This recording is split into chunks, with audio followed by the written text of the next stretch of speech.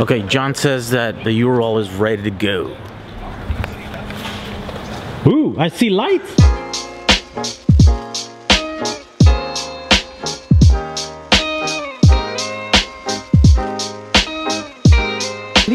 There it is. There it is. Oh, Go the other way. whoa. Look at this.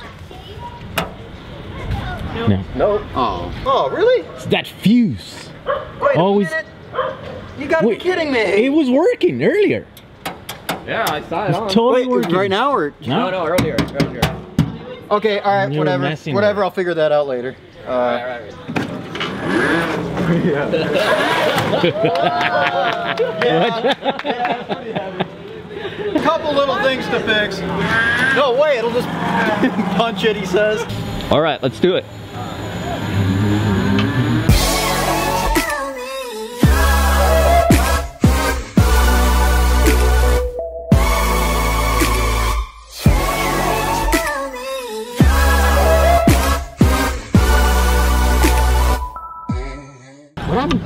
Tires are super low. I got flat tires. All right, okay. Oh yeah, it lost all of the air. Yeah, you might have spun your stem. Yeah, I did, for sure. Yeah. Yep. Yup. First Great, 'cause- fatality of all that torque. Yep. Guy spun his stem. It's okay, it's only a half an hour project to replace the inner tube on this thing. so much torque. it broke the rubber.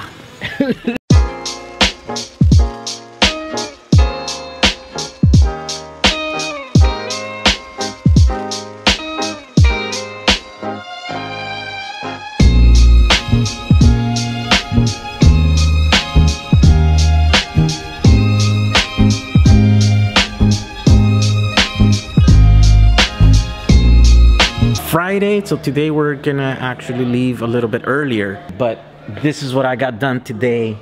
Basically, mostly the harness is ready to go.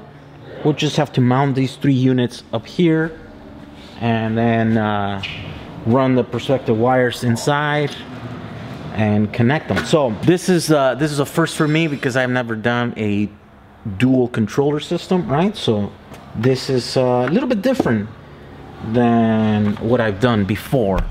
Uh, in what way? Well, these controllers are uh, 1239s, which means they're like higher voltage.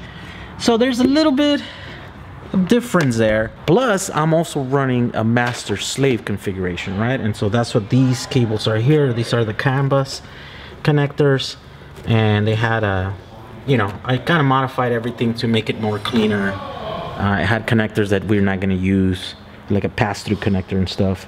Um, I try to shove everything through that one gland nut here, but it's not to happen. So I'm to have to run an, an, another one to run the stuff for the this big cables for the uh, charger.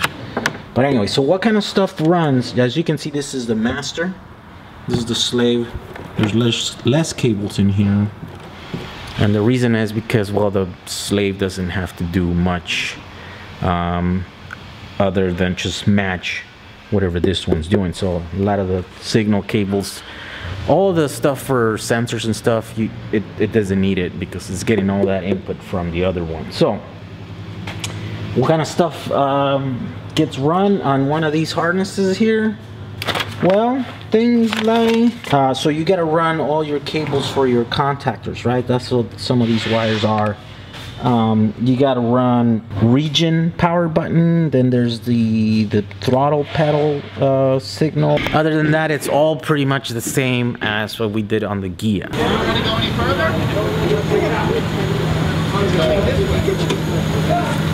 You want to go backwards? So this week, Bream and the whole team at EV West here were on TV, uh, Discovery Channel. Brand new Wheeler Dealers starts Monday at 9, only on Discovery. But none of us have cable anymore. We were on our way to some restaurant over here to see it. As I'm driving, I noticed that my lights are very, very dim. And so got to Bream's place. Uh, he had already left. And so I took out my voltmeter, checked my volt, 12 volt, and it was really low. And so what happened is essentially that I killed my uh, DC to DC. And it happens uh, every once in a while, right? I actually never have a true DC to DC. I just had some power supplies that I put there three years ago, and they've been working fine. Um, they power the car without a battery, in fact, and uh, you only need the battery if you're going to be drawing like a lot of power. And so I still have the original headlights, which pull a, a lot of power. It's like 12 amps, I think, both of those, right? And so now that it's been like raining and is I've been driving at night and I've been you know putting the radio loud and and then it's the wipers on so it's like drawing a bunch a bunch of current right and so I they've been working extra extra hard uh, since I don't have my big lithium battery anymore I just have a, a regular lead acid uh, they were working extra hard and so eventually they just died and so now I'm gonna have to install a real DC to DC. But um, this last couple days has been raining and there's really no space in any of these bays.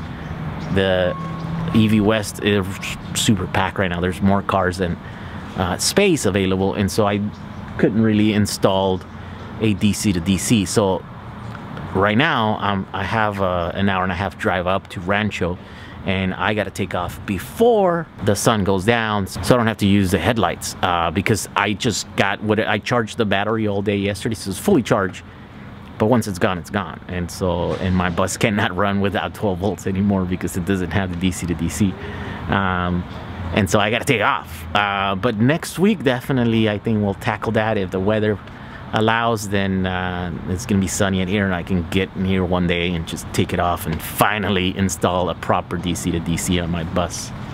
Little by little, the Samba is becoming a real electric car. Um, and by real, I mean like, you know, it's like not a hack. I, everything that I did, I did it my way and, you know, the cheap way. Just sometimes even just to prove a point and stuff, right? But eventually you get tired and, you know, you just gotta I got no time to be messing around with the 12 volt system on this thing anymore so uh, stay tuned for that video next week. I'm gonna you how to install a DC to DC and the choices that we have. All right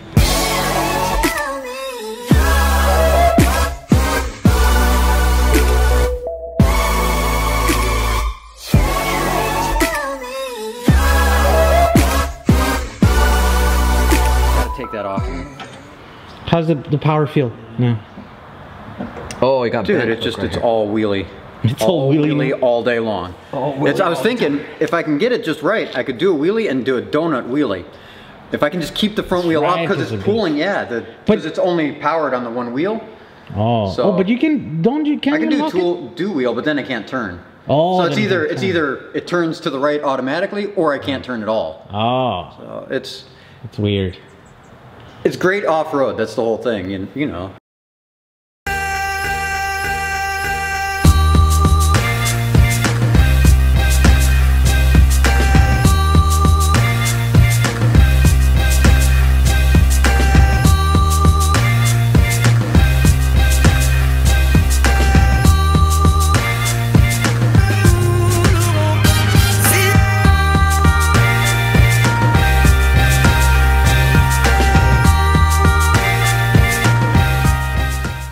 Yeah, if it's in the dirt, then we're we're all No problem. We're going places. looks good I, it's gonna be fun I think so. a little bit of work Hey, I appreciate the help.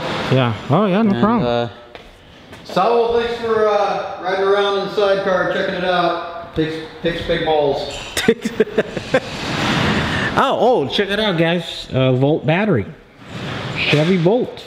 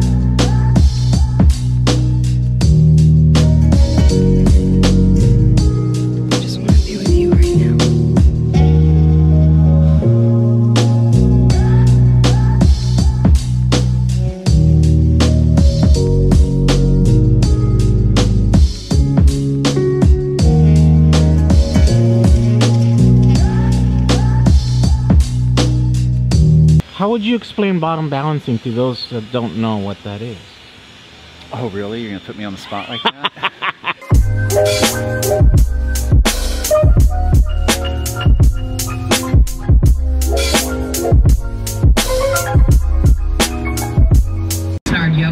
Levity Live in Oxnard. You're like, who is that guy? here. So we're back here in San Diego once again, and I think Michael got a new toy.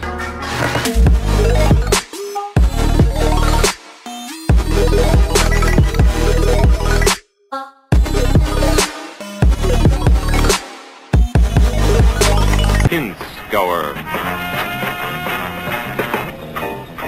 The rapid pace of progress in modern life means ever greater demands in the field of transportation. The latest development of Steyr Daimler Puch, the Pin scour, named after a hardy and reliable breed of Alp